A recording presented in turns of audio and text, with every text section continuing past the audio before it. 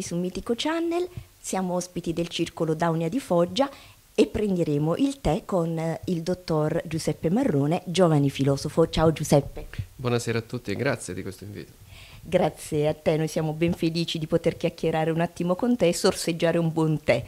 Um, Giuseppe, eh, tu sei di Foggia, nasci a Foggia, eh, studi qui e poi ti laurei all'Ateneo di Bari in filosofia, giusto? Esatto, una scelta azzardata per alcuni, però di felice proseguo, penso, spero. Però ne, era nel tuo DNA la strada umanistica, in quanto tu a 19 anni hai già pubblicato la tua prima opera, eh, un testo, sì, prego, prego. I racconti di Timeo che quest'opera che io decido di scrivere l'ultimo anno delle scuole superiori ed è un'opera che decido di scrivere azzardando nel mondo della, della narrativa, però con un impianto decisamente filosofico. filosofico. Del resto i racconti di Timeo ha eh, in sé già la matrice dell'opera, ovvero un riferimento filosofico nel nome Timeo, che è uno dei dialoghi di Platone. Di Platone e lo scopo del perché un ragazzo dovrebbe ecco, scrivere di filosofia intraprendere degli studi filosofici piuttosto che dedicare la propria vita alla filosofia. Io già nel dirti questo ti ho dato la risposta. Dedicare la vita alla filosofia vuol dire fare della filosofia una pratica di vita. Allora la filosofia diviene il mezzo, lo strumento attraverso cui interpretarci e reinterpretare il mondo che ci circonda. Bene, allora la filosofia come eh, scienza guida eh, per conoscere il mondo e interpretarlo, ma qui sarò un po' provocatoria Giuseppe, oggi la filosofia in questo mondo virtuale e tecnologico quanto valore ha e che spazio ha e che posto può assumere? La filosofia è uno spazio e una dimensione umana, esattamente come la tecnica, hai parlato di tecnologia. La tecnologia non può essere intesa come una entità astratta e operante in modo autonomo dall'uomo o dall'umano, perché la tecnologia è uno strumento dell'umano, esattamente come la filosofia. Credere che un approccio di tipo tecnologico o tecnologista possa essere indipendente dal valore dell'umanità che porta uno studio umanistico è una follia. Quindi abbiamo bisogno di unire in ogni caso l'umano al tecnologico, ma lo si fa oggi. Um, I giovani sono vicini ancora alla scienza uh, filosofica, alla filosofia o no? Dal tuo punto di vista, anche perché io so che tu uh, sei stato presidente del Forum Giovani per due anni, uh, partecipi esatto. alle ACLI, sei docente, partecipi a convegni di natura filosofica. Qual è il tuo riscontro attuale rispetto ai giovani e alla filosofia? Io credo che i ragazzi vadano in ogni campo e in ogni caso stimolati. Che sia l'etica, che sia un discorso di natura estetico, che sia un discorso di natura metafisico, per chi possa interessare la metafisica. Il problema della pratica filosofica oggi è la fondazione del senso del vivere. Quello che si è perso oggi, che credo sia una bestialità assurda, e il termine bestialità che ho usato è un termine che uso in modo cosciente, è quello appunto, l'errore qual è? È quello di perdere la funzione direttiva e direttrice dell'umanità e quindi dell'agire e dell'azione. Io come posso usare la tecnologia che è un mezzo, anche un telefonino, uno smartphone, o un social che può essere Facebook o Twitter o che caspita volete, come posso io impiantarmi in un discorso di questo tipo che è una forma anche di socializzazione virtuale, senza un apparato strutturale che mi consenta di capire cosa sto facendo. Come posso io dirigere il mio agire se non so quello che faccio? E allora come si deve fare? In quale modo si può agire per poter insegnare ai giovani a non utilizzare senza senso e senza un valore etico i, eh, questi mezzi, questi social?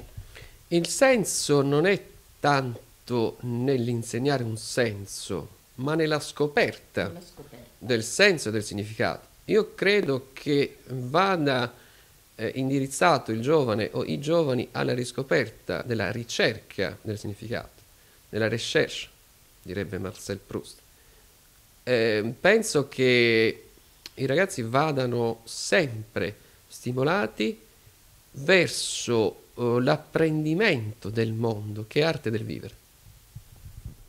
Allora, i giovani dovrebbero essere stimolati all'apprendimento dell'arte del vivere. Chi deve farlo? Chi li deve guidare e in quale modo? La funzione di direttrice è una questione complessa, una problematica del contemporaneo.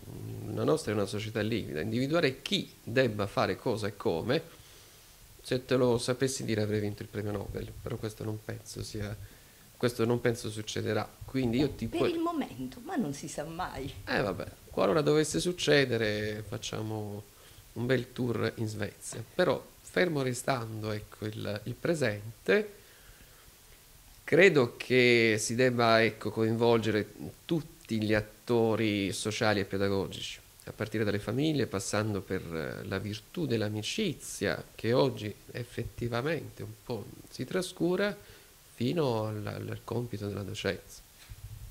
Bene, eh, parlando appunto di valori, io so che tu attualmente insegni bioetica. Eh, ci parli eh, del senso tua, del tuo insegnamento, del perché hai scelto in questo momento eh, questa branca e come te ne occupi. La bioetica è attualmente uno dei discorsi della filosofia morale, quindi dello studio dell'etica in senso più vasto, tra i più promettenti verso non solo verso la comprensione appunto diciamo della realtà dell'oggi, ma anche verso la comprensione della realtà del futuro.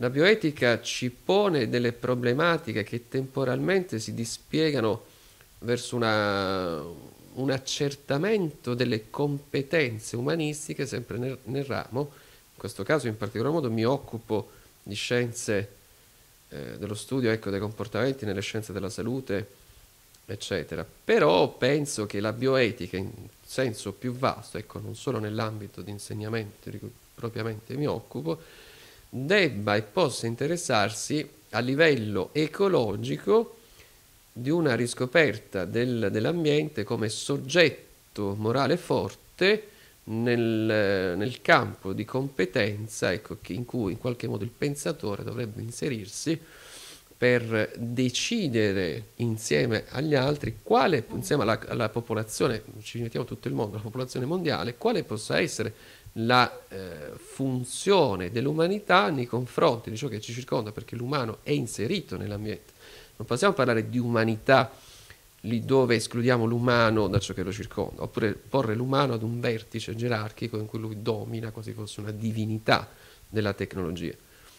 Ecco, ritorniamo al tema iniziale, la tecnologia si inserisce come strumento e non come un atto autofondante. Tutto ciò che è autoreferenziale io cerco di escluderlo dal campo dell'etica almeno. Bene, quindi in ogni caso eh, la bioetica dovrebbe aiutarci ed è effettivamente eh, una delle discipline che oggi concorre maggiormente eh, a, eh, nella vita dell'uomo.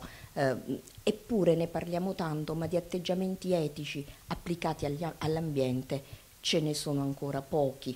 Ehm, non, non aiutiamo noi stessi a vivere, ma forse a mio parere, e qui smentiscimi, noi sopravviviamo. Che ne pensi? Beh, già sopravvivere a se stessi è una bella impresa oggi, perché con tutti i pensieri che ci facciamo, già l'autosopravvivenza a quel mondo sterminato che è l'interiorità è un qualcosa di importante oggi. Sopravvivere poi come specie, come specie umana, in un mondo in cui l'autoaffermazione dell'uomo è tutt'altro che ecosostenibile, ci porta in direzione di una seria riflessione che dovrebbe spero maturare quanto prima anche verso i big dell'umanità, che dovrebbero prendersi coscienza del fatto che stiamo andando verso un vicolo cieco. Appunto, sono perfettamente d'accordo con te, era qui che, eh, che volevo arrivare. Um, di cos'altro ti stai occupando attualmente e quali sono i tuoi progetti futuri? Ma attualmente c'è un bel progetto di riportare a Foggia il professor Alfieri. Il professor Alfieri insegna alla Pontificia Università Lateranense con cui tu hai avuto già contatti. Fare, è una splendida persona con cui abbiamo parlato di Martin Heidegger, La verità dei quaderni neri, lui ha scritto un libro edito Morcelliana e l'abbiamo portato a Foggia il 5 maggio scorso, dovrebbe ritornare a fine novembre. Non dico la data per, per avere certezza però di presentare un progetto, un programma definitivo, torna a Foggia e ancora una volta sul tema, uno dei temi più importanti, uno dei più affascinanti a me per quanto mi riguarda, che è quello della ricezione di Martin Heidegger, eh, perché ultimamente c'è un gran, una grande discussione legata proprio al pensiero filosofico, ma anche all'impegno nella vita di questa persona, questo pensatore nella Germania dell'epoca. Bene Giuseppe, ehm, ritorniamo a parlare di filosofia etica e morale. Dicevamo prima appunto della scelta dei giovani di eh, appassionarsi o in ogni caso, in ogni modo, eh, avere un atteggiamento etico e tu ti riferivi appunto all'uso dei social eh, che implicano in ogni caso una scelta. Eh, oggi un giovane come può effettuare la giusta scelta e quindi avere un, una, seguire una etica? Perché pare che eh, di valori eh, ne abbiamo davvero pochi, altrimenti non si spiegherebbero tante discussioni e tante polemiche che viaggiano sul web. Io ti dirò, sono un volontarista convinto. Volontarista significa che credo nella volontà, nella forza della volontà. Indipendentemente dal contesto storico in cui nasci e da quello che ti può capitare, tu hai la volontà di decidere chi sei, chi vuoi essere e che ruolo avere nel mondo. Quello che io dico sempre ai ragazzi, ma anche ai miei stessi amici, perché ho 30 anni, dico ragazzi, eh, voi chi volete essere nella vita? Chi vuoi essere tu? Dove vuoi andare? La classica domanda della chi sei, da dove vieni, dove vuoi andare? Oggi i ragazzi hanno bisogno di inventarsi perché le categorie sociali, e questo è il problema della società di oggi, le categorie sociali dell'oggi si sono frantumate. Allora ancora di più un ricorso all'autopoiesi, che altro non significa che l'autocreazione, è veramente la riscoperta della bellezza di inventarsi all'interno del mondo. Bellissime queste parole, la necessità di essere, eh, perché eh, che viene nascosta spesso da quella de- dell'apparire, anche perché virtualmente si appare spesso per ciò che non si è e quindi forse utilizziamo questi mezzi, ma con la consapevolezza che dobbiamo prima costruire noi stessi, anche dietro, dietro il mezzo tecnologico, dietro lo schermo. Assolutamente, questo è uno dei temi. Perché ho scelto filosofia? Proprio per la dicotomia tra essere e non essere. L'essere è ciò che noi siamo e che vogliamo dal punto di vista etico, la volontà, decidere di essere. Tutto ciò che è al di fuori, il non essere, è mera apparenza o costruzione sociale che noi possiamo decidere di avvallare o non avvallare. Però quello che dico ai ragazzi, non sentitevi costretti, nel senso obbligati da comportamenti sociali. Utilizzate la forza della vostra volontà di scegliere. Quindi prima un atto di volontà e poi sapere dove si sta andando, o perlomeno cercare la propria strada. Infatti, perché la, poi la filosofia, guarda, non è la ricerca di un significato definitivo, ma è la ricerca della ricerca. Ecco. Quella è la filosofia è il porsi le domande, non darsi le risposte. Benissimo, e quindi noi continueremo a porre le domande a Giuseppe anche prossimamente se lui vorrà tornare ancora eh, con noi. Vi ringraziamo per averci seguito. Giuseppe, grazie, grazie mille, mille grazie per essere stato qui con noi, è stato davvero un piacere. Grazie a te, è stato davvero molto, molto, molto, molto interessante. Ti aspetteremo prossimamente Grazie. e ringraziamo gli spettatori di Mitico Channel, nonché eh, il Circolo Daunia di Foggia per averci offerto la location eh, nella quale incontrare e bere il nostro tè con Giuseppe Marrone. Alla prossima!